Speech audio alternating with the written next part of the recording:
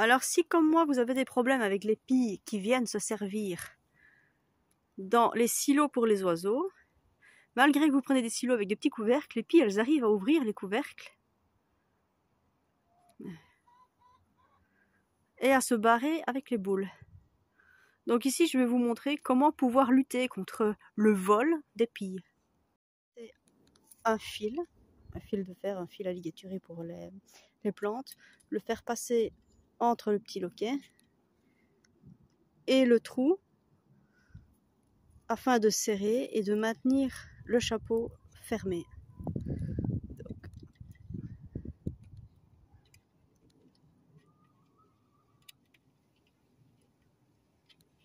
Voilà.